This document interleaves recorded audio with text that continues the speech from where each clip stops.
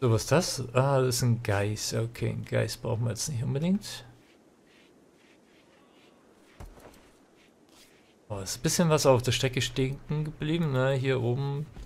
Ja, das Gefängnis ist auch noch nicht ganz ready. Dann die Forschungsräume sind auch noch nicht so ganz durch. So, Lilly kümmert sich um die Alpakas. Sehr schön. Wir wollen ja nicht, dass da was schief geht mit denen. Das darf ich mir, wie gesagt, nur ewig anhören. Meeresfrüchtesuppe.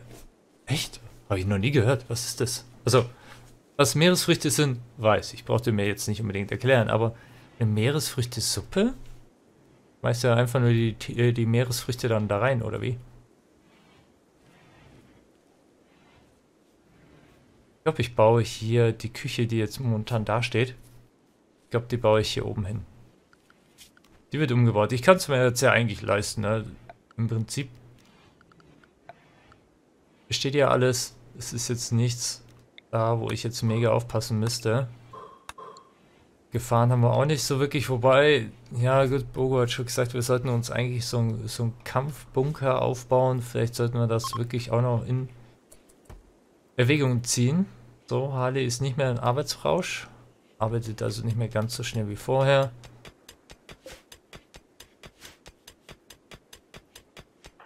So, die Lilly, die braucht doch jetzt hier noch warme Klamotten. Könntest du ihr das nicht jetzt mal rasch fertigstellen? Yes, ist fertiggestellt. Lilly, deine Jacke ist soweit.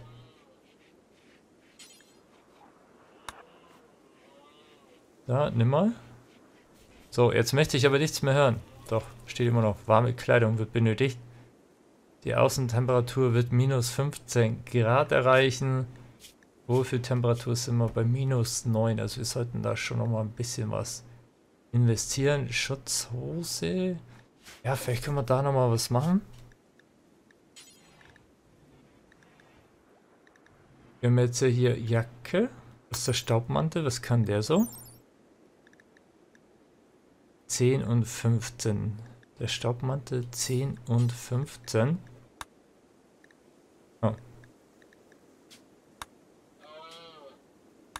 Nee. Ach, jetzt warte mal. Ja, ist ein bisschen doof, dass man da nicht besser durchwühlen kann von einem Item zum anderen. Ja, der Mantel ist schon besser. Zumindest wieder was die Hitze angeht. Weiß gar nicht, wie ist denn das jetzt eigentlich? Wenn dann quasi Winter vorbei ist, legen die jetzt dann die Klamotten da rein? In die Kommode? Ich meine, dafür habe ich es ja eigentlich irgendwie auch gebaut, ne? Oh, schau mal. Ich habe hier ein gutes Bett gebaut. Doppelbett aus Holz. Status gut. Sehr schön. So, Lilly hat nichts zum tun. Das kann ich mir beim besten Willen nicht vorstellen.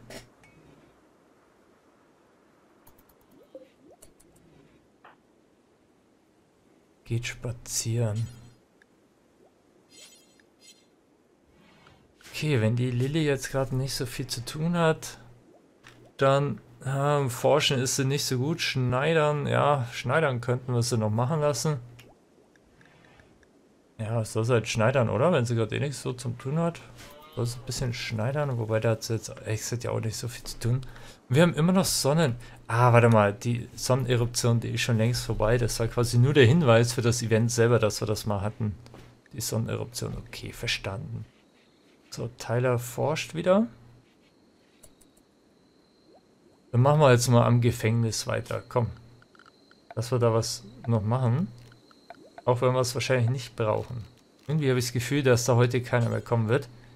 Machen wir ein Bett aus Stahl. Es ist ja trotz allem eine Gefängniszelle.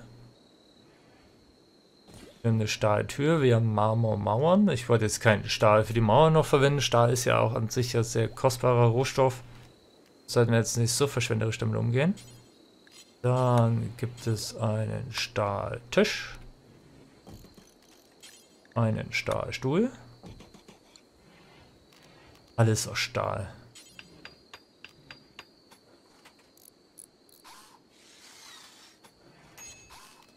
Du bekommst auch einen Blumentopf aus Holz. Der wird aus Holz. Den stellen wir dir mal hier hin. So, unwerten Zusammenbruch. Warum? Was ist los?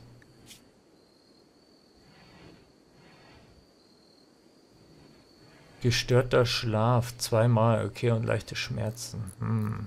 Die Attraktivität sieht auch nicht so gut aus, aber das können wir auch alles ändern. Vielleicht sollten wir hier auch einfach mal den Boden etwas hübscher machen. Können wir auch machen, sollte auch viel dazu beitragen.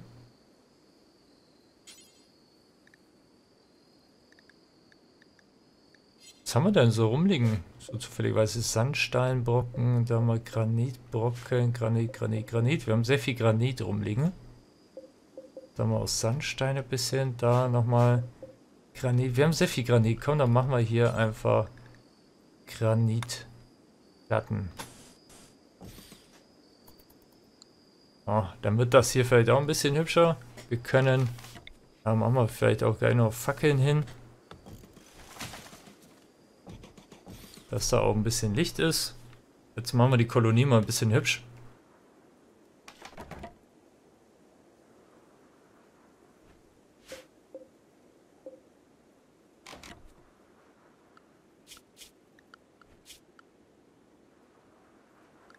Oh, schau mal, jetzt kann ich die hier auch trainieren, dass sie mit angreifen, also dem Meister folgen. Theoretisch.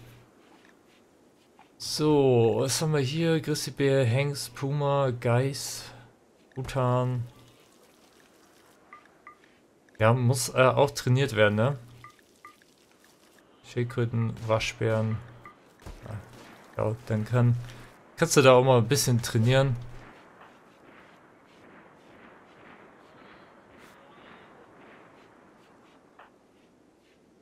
Zwei untätige Kolonisten. Sag mal, was ist denn da los? Warum haben wir untätige Kolonisten? Gut, der Joker, der könnte jetzt ja auch, der hat jetzt einen Revolver in der Hand. Der könnte jetzt auf jeden Fall da auch mal ein bisschen jagen gehen. Feldarbeit, da brauchen wir jetzt kein Handwerk, als auch nicht. Okay, dann wird es quasi einen, der jetzt noch nicht so beschäftigt ist.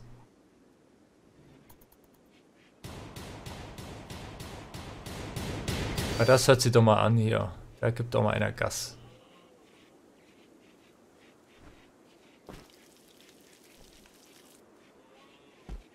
So, hier wird fleißig wieder zubereitet. Wie sieht es denn aus? Tiefgekühlt, die Ware verdirbt nicht. Das ist auch sehr gut. Und wer möchte jetzt hier bauen von euch? Alle vier könnten theoretisch bauen. Aber warum macht sie es nicht? Ah, warte mal, die brauchen... Die brauchen jetzt natürlich die Granitblöcke. Und ich weiß jetzt aber, warum keine Marmorblöcke hergestellt werden. Das auch schon wieder durch ist. Ah, jetzt haben wir das mal alles gelöst. Ich wundere mich die ganze Zeit, warum machen die da nichts? Aber ich habe ja nur gesagt, sie sollen einfach 10 Einheiten bauen und dann ist rum ums Eck. Also müssen wir das natürlich auch wieder ein bisschen auffüllen, dass sie da mehr herstellen.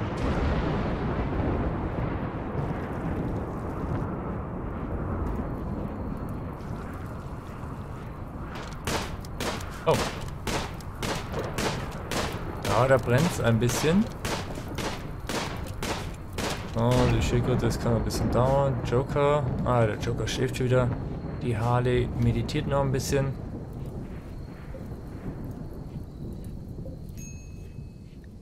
So, und Zusammenbruch wieder. Beide lieben hier. Ja, klar. Immer noch gestörter Schlaf zweimal. Wann läuft das ab? Beginnt in fünf Stunden abzulaufen. Ja, Zeit wird's dann. Was ist das hier? Oh nein. Oh nein. Jeder weibliche Kolonist spürt eine Welle von Angst und Wut. Eine weit entfernte Maschine des Hasses rührt sich. Sie projiziert über einen Orbitalverstärker ein psychisches Brummen an diesen Ort. Auf einer Frequenz, die scheinbar nur das weibliche Geschlecht erfasst. Die Stimmung einiger Kolonisten wird sich über die nächsten Tage deutlich verschlechtern. Die Stärke des psychischen Brummens ist schwach. Ah, das ist aber schlecht für unseren Joker, der hier quasi der Hahn im Korb ist, denn er ist ja im Prinzip der einzige Mann in der Kolonie. Wir haben noch drei Weibchen dabei. Das wird ziemlich hart. Hier, oh, da müssen wir aufpassen. Das könnte gefährlich werden. Das wird, glaube ich, auch gefährlich. Shit. Ah, da müssen wir aufpassen. Das müssen wir eigentlich sofort priorisieren.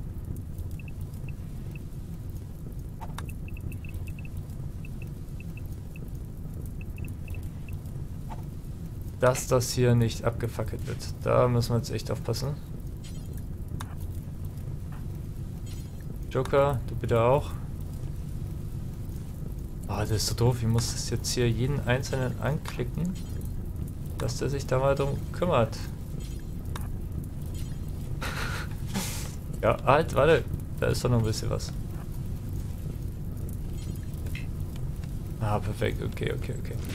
Super, danke Harley. Das hat geholfen. Damit dürften wir hier doch relativ safe sein, ne? weil die Brände, die breiten sich hier natürlich schon ein bisschen aus. Vorteil natürlich, wenn da irgendwo ein Tier ist, das fällt dann um. Das können wir dann ganz easy einfach aufnehmen und schlachten. Nachteil natürlich, wenn das Ding unsere Kolonie erfasst, dann haben wir ein Problem. Aber zum Glück hat er hier jeder durchaus den Willen, das ist jetzt aber vielleicht nicht ganz so klug, sich da direkt neben das Feuer zu legen. Forschung abgeschlossen. Der Recurve-Bogen ist hergestellt. Sehr geil. Sehr geil. Dann machen wir doch mal weiter mit... Was, was lohnt sich denn jetzt eigentlich? Im Prinzip kann ich mir jetzt hier voll austoben, glaube ich, oder? Was ich möchte. Wir haben ja von Batterien schon gehört. Ich glaube, Batterien, das wäre vielleicht wirklich keine so doofe Idee. Lass uns die mal erforschen. Dann ist das hier automatische Tür. Ah, okay. Öffnen sich automatisch, um ein verzögerungsfreies Durchgehen zu ermöglichen. So. Ja. Ich glaube, wir überleben es. Ich glaube, wir überleben es. Die Chancen stehen ja gar nicht mal so schlecht. So, Batterie wird auch wieder im Chat geschrieben. Ja, mach mal. Kein Ding. So, das Feuer haben wir gelöst. Gott sei Dank. Ja, zum Glück habe ich halt da geschalten, ne, dass wir hier das rasch abgearbeitet haben. Da wurde ja auch am Anfang des Streams im Chat kurz erwähnt, dass ich doch da bitte zwei Blöcke freimachen sollte. Sonst könnte sich unter anderem durchaus das Feuer ausbreiten. Also auch nochmal vielen Dank für den Tipp an der Stelle. So.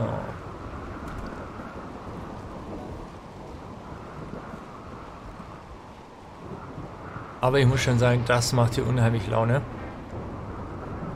Auch wenn wir im Moment sehr, sehr, sehr, sehr wenig von der Geschichtenerzähler-KI haben. Aber gut, vielleicht meint die das ja auch nur gut mit uns verschont uns hier mit Absicht so ein bisschen, dass wir ein bisschen uns mal noch mehr mit dem Spiel befassen können.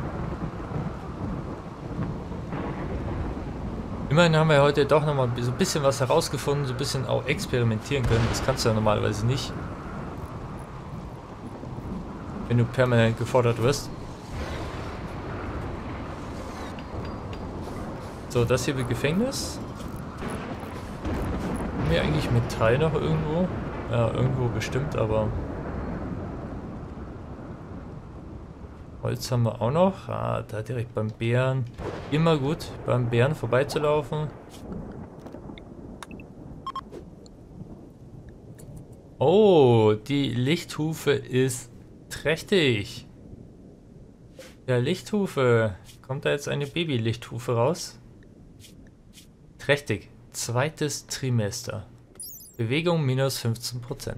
Diese Kreatur bringt Nachwuchs zur Welt. Sie wird gebären, wenn die Schwangerschaft ihren Höhepunkt erreicht hat. Wenn sie verhungert oder verletzt wird, kann es zu einer Fehlgeburt kommen. Das dürfen wir auf keinen Fall zulassen. Lilly, du wirst jetzt dich hier sehr, sehr, sehr, sehr doll um Lichthufe kümmern und das wird dann Schattenhufe. Das wird dann Schattenhufe. Sehr geil. Cool, wenn wir das heute auch noch erleben dürfen. Wir können mal ein bisschen schauen, wie geht es eigentlich Joker und Harley. Da mal, kann man jetzt auch mal ein bisschen reingucken, haben ein bisschen vernachlässigt. Haben auf jeden Fall interessante Gesprächsthemen. hatten ein inniges Gespräch über den Terrorismus. Jetzt wissen wir, auf welchem Weg die aus sind. Also so geil einfach nur. Wenn du den Leuten einfach irgendwelche Namen gibst und irgendwo ist dann echt mal was Treffendes dabei, wie jetzt hier Harley und Joker hatten ein inniges Gespräch über Terrorismus. Hier sollten wir also wirklich aufpassen, dass da alles mit rechten Dingen zugeht. ja, da muss er echt aufpassen. Krass. Aber es ist geil halt einfach, wie passend das so ist. So, wo ist Feuer? Feuer, Feuer, Feuer, Feuer, Feuer. Joker, Harley, das habt doch ihr verbrochen jetzt, oder? Das ist auch so geil, wie sie das halt einfach nur auspusten. Das ist so witzig gemacht einfach. Ah, hier unten dasselbe. Los. Was ist, ist nicht im Heimatgebiet? Darum kannst du das nicht löschen? Willst du mich jetzt hier eigentlich... Okay, ich habe nichts gesagt, okay? Nichts gesagt. So, Heimatgebiet. Boah. Ja, shit, da müssen wir echt aufpassen mit den Blitzen. Ich habe jetzt ein Auge hier drauf. Sobald das hier eskaliert, muss ich sofort löschen. Ah ne, okay, hat sich von selbst erledigt. Lichthufe? Lichthufe geht's noch gut, jawohl. Okay. Sehr wichtig. Da müssen wir jetzt echt aufpassen. Lichthufe, der darf nichts passieren. Drum haben wir sie auch eingepfercht, damit sie super safe ist. Und ja, Schattenhufe oder was? Wild Cow Cowtier. Was ist denn das jetzt für ein Name? Wild Cowtier. Hm. Ah, klingt jetzt nicht so schön wie Schattenhufe. Ich glaube, wir bleiben bei Schattenhufe. So, ich suche jetzt mal nebenbei wieder so ein bisschen. Da haben wir auch noch einen Truthahn rumliegen. Der könnte auch mal abgeholt werden. Ich suche gerade ein bisschen Metall. Haben wir das noch da? Da ist noch ein Fuchs, den man verarbeiten könnte.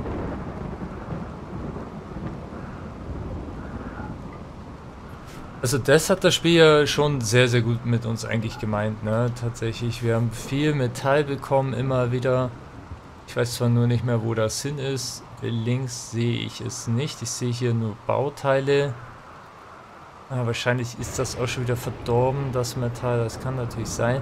Wir können Metall auch selber herstellen. Oder es hier auch gewinnen. Da hier Stahlreste. Wenn wir das abarbeiten, dann kriegen wir da was raus. Können wir das gefahrlos machen? Ja, schauen wir gleich mal. Hier haben wir noch Sandstein. Golderz. Oh, geil. Es gibt Golderz. Ja, also ich, ich spiele das Spiel wirklich noch nicht sehr lange. Es sind jetzt vielleicht in der sechsten oder siebten Stunde.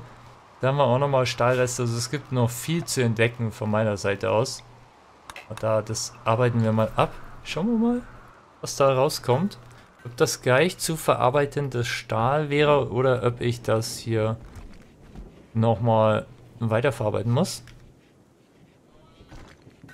Jetzt haben wir erstmal die Marmorblöcke fertiggestellt. Damit ist jetzt der Forschungsraum hier endlich fertig. Und dann kann sich hier jetzt um Granit gekümmert werden. Ah, geil, jawohl, jetzt hier wird auch endlich das hier mal zugebaut, sehr schön. Dann wird das hier doch auch gleich mal ästhetischer. Hey, willkommen zurück, TTF. Das war wohl kurz. Was hast du gemacht? Hast du rasch was essen, oder? Oh, das wäre eine Idee, oder? Maragma. Der große C kehrt zurück. Ähm, nee, aber ich glaube, also das erste Kind wird Schattenhufe. Das finde ich eigentlich ziemlich geil. Und das zweite, ja, das zweite könnte dann Maragma werden.